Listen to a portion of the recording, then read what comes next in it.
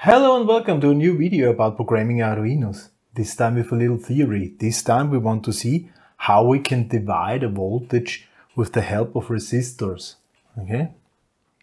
So I have here a 1 kilo ohm resistor. Uh, this 1 kilo ohm resistor I have plugged in here plus 5 volt and here I've plugged in uh, ground. So I will put this, this 1k resistor, 1 kilo ohm, 1000 ohms here.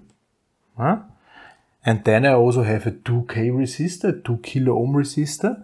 And this 2 kilo ohm resistor I will simply plug in here. Huh? So now, how does this look like? Between, between this end uh, and this end, I have 5 volts. Uh, and I have here 1 kilo ohm and 2 kilo ohm are 3 kilo ohms. And the question now is, how many volts I have here in between? We can measure this. Let's measure this. I hope we can see it on camera. Maybe it's not. Yeah, you can read it. Uh, this is the important part. Uh, well, so I measure between here, the top, and here the bottom. So we should measure around 5 volts. We do. Huh?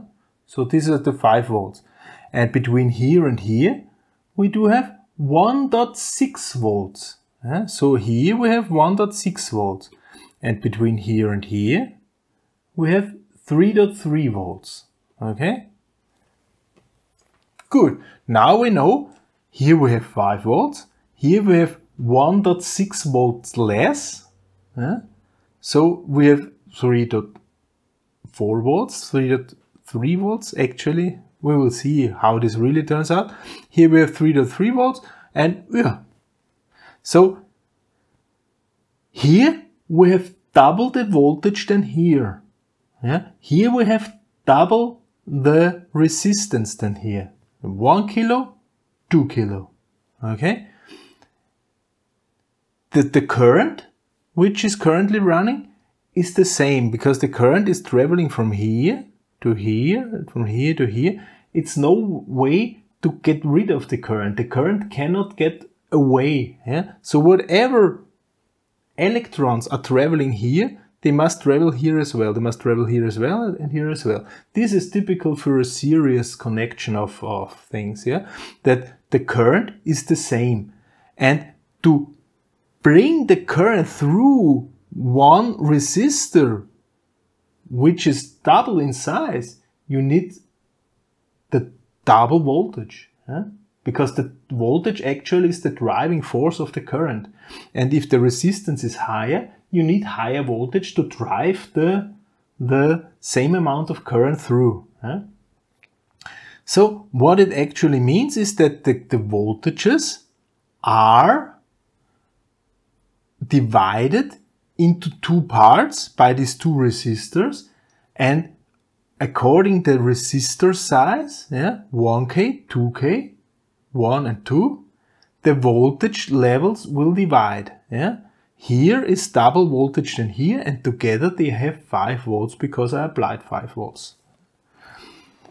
To see if I'm really correct, I will replace now this 2K resistor with another 1K resistor. So now we should see that the voltage is equally distributed. Now we would expect in the middle to have to have uh, around 2.5 volts. Okay, let's see.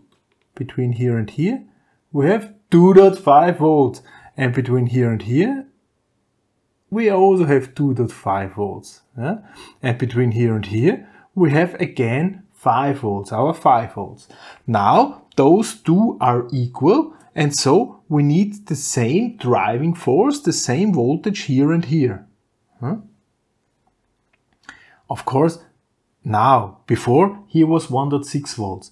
Now I have 2.5 volts. This means the current which is running yeah, is higher than before. Yeah? Because it's clear I have the same driving force, the same voltage of 5 volts, but I do not have 3 mega ohm, uh, kilo ohm, I have only 2 kilo ohms in, in series now. Yeah? Because 1K, 1K, 2K. Okay? So if the, if the driving force is the same and the resistance is less, the total resistance, there is a higher current simply running. Okay? This thing here is called voltage divider. Okay?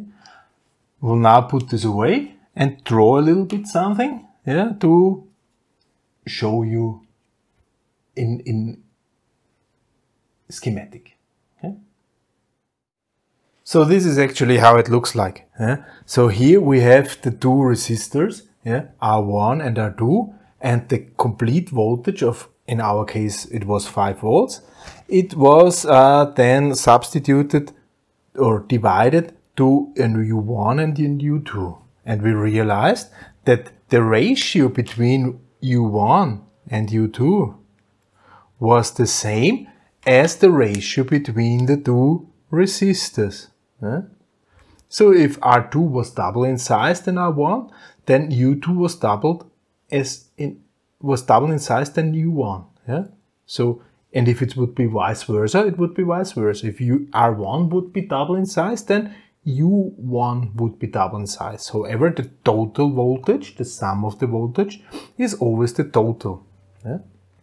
And we also said, yeah, the total, the total resistance, yeah, total resistance is the two resistance, series resistance added to each other. Yeah? And we could also make a ratio between, for instance, R1 to the total resistor. Yeah? And this is also according the voltages.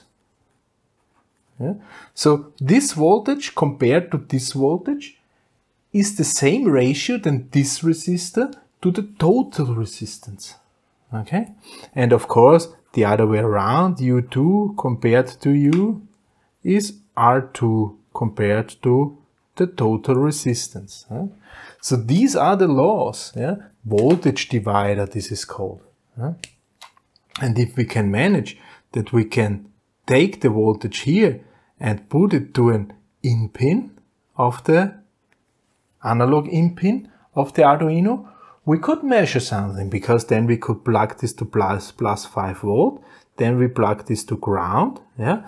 And for instance, if we could manage that this R2 is changing because of some rule, let's say because of the temperature. If R2 is temperature sensitive, then this voltage of R, this R2 is changing according to the temperature. So the voltage is changing according to the temperature and I could measure the temperature by measuring the voltage. This is how a lot of sensors are working, resistance sensors.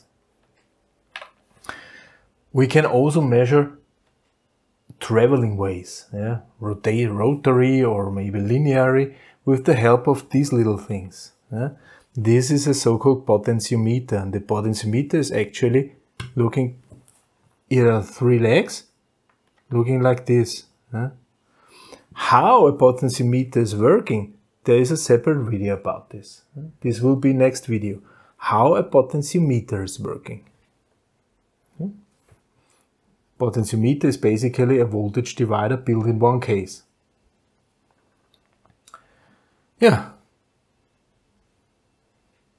For this time, thank you very much for listening. Goodbye.